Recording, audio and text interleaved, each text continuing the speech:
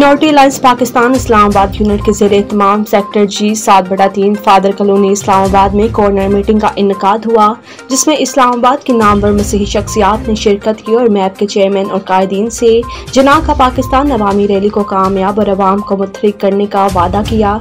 Chairman MAP ने Ejaz Bhatti Asif John, Waqas Bhatti, Fayaz Bhatti, Anoj Bhatti और दीगर साथियों को कामयाब मीटिंग पर मुबारकबाद दी।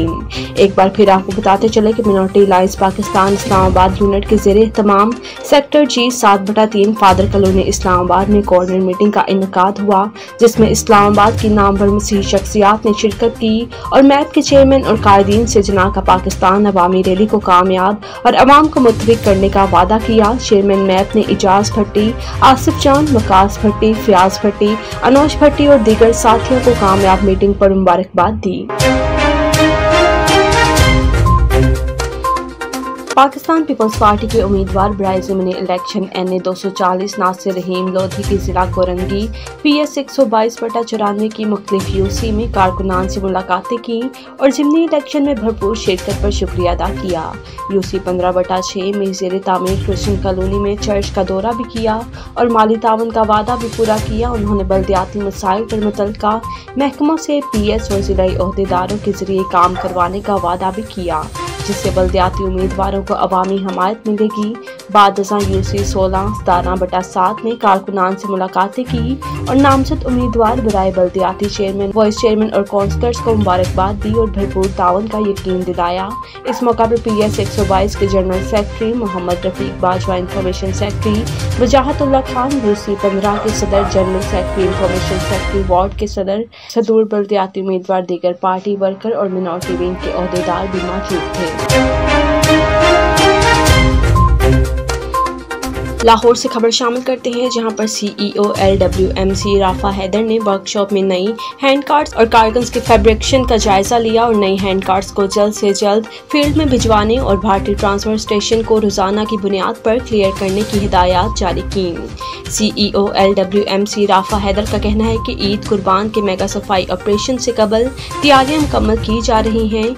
यूसी लेवल पर वर्कर्स में नए यूनिफॉर्म हैंड कार्ड्स और दीगर लॉजिस्टिक्स मुहैया करने का सिलसिला जारी है शालीमार टाउन के 400 सैनिटरी वर्कर्स में नई यूनिफॉर्म तकसीम कर दी गई शालीमार टाउन के 724 वर्कर्स को नई यूनिफॉर्म मुहैया की जा रही है मजीद बरा ईद से कबल तमाम टाउन में वर्कर्स को नई यूनिफॉर्म और जरूरी लॉजिस्टिक्स मुहैया की जाएंगी इनका मजीद कहना है कि ईद सफाई ऑपरेशन के असल heroes L W M C के वर्कर्स हैं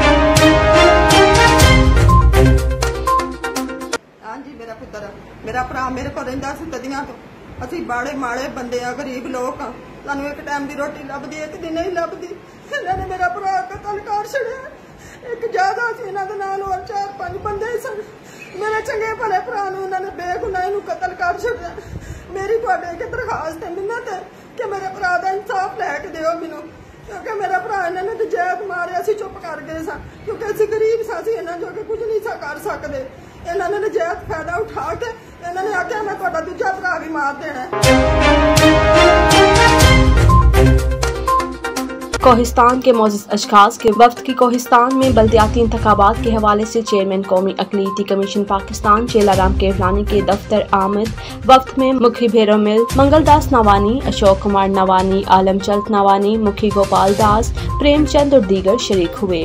चेलाराम केवलानी की जानब से तमाम मेहमानों का पुरतपाक इस्तकबाल किया गया। वक्त की जानब से चेलाराम केवलानी को बल्दियाती इलेक्शन में हमात करने की दरख्वास्त की गई। चेलाराम केवलानी ने वक्त के मंशूर को सराहा और उनकी कोहिस्तान के लिए खिदमत वाली सोच की तारीफ़ भी की।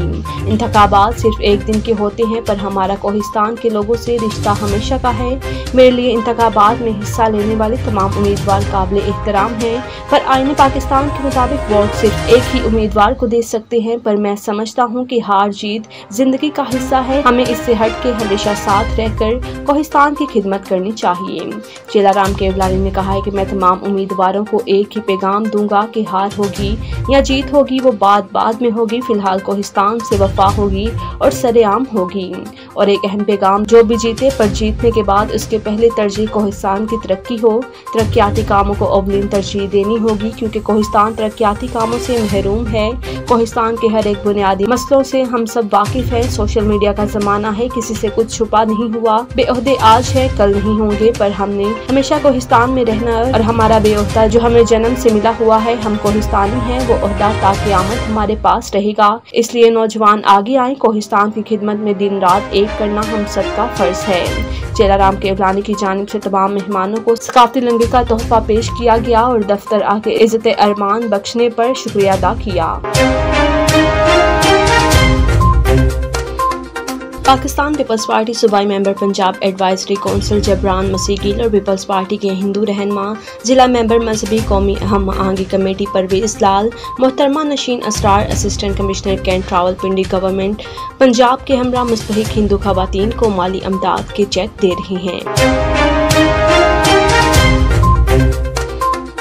सूबाई नायब सदर Pakistan peoples party minority wing Sindh Parvez Habib और आरिफ आशिक भट्टी के सिंध असम्बली में सूबाई वज़ीर अकलीती अमूर सिंध ज्ञान चंद इसरानी से उनके चैम्बर में मुलाकात हुई। मुलाकात में सिंध की तरक्याती मनसूबों पर तबादला ख्याल किया गया, जिस पर सूबाई वज़ीर अकलीती अमूर सिंध ज्ञान चंद इसरानी ने यकीन दहानी कराई है। तमाम अकलीतों की बस्तियों में तरक्याती कामों पर गौर किया जाएगा।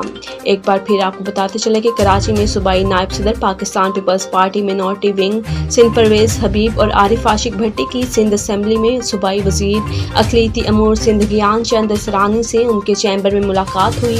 मुलाकात में सिंध के तरक्याती मनसूबों पर तबादला ख्याल किया गया, जिस पर सूबाई वज़ीर अकलीती अमूर सिंध ज्ञान चंद इसरानी ने यकीन दहानी कराई है। तमाम अकलीतों की बस्तियों में तरक्याती कामों पर गौर किया जाएगा।